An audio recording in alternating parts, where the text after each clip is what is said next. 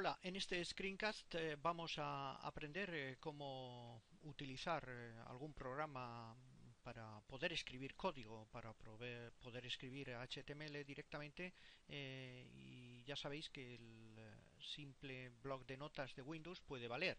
En el, el, screencast de hoy vamos a verlo en entornos Windows.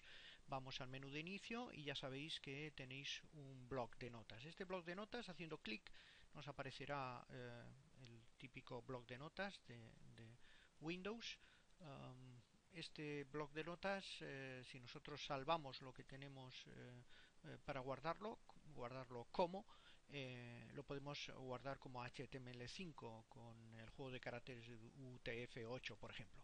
Bien, pero em, aparte de este blog de notas, hay otro eh, otro editor de texto muy interesante, eh, editor de, código, vamos a llamarlo, más que de texto, eh, que es el pspath.com.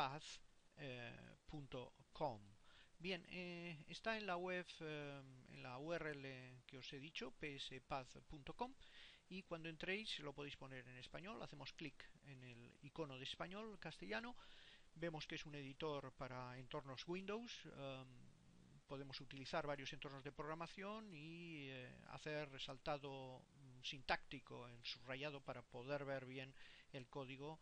Es una herramienta sencilla y mm, a la vez eh, de suficiente potencia para poder empezar a programar páginas web, a poder empezar a para poder empezar a programar con HTML.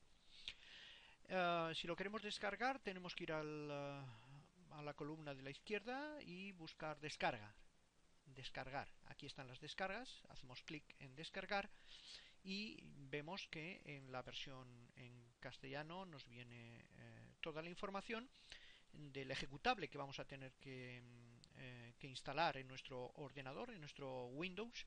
Tenemos para ello el instalador, son 4,42 megas en esta última versión, versión 456 y simplemente así hacemos clic eh, en el instalador y ya nos la descargaríamos a nuestro eh, a nuestra partición con Windows, a nuestro eh, sistema operativo con Windows, para poder empezar a, trabajar con el código, con PSPath.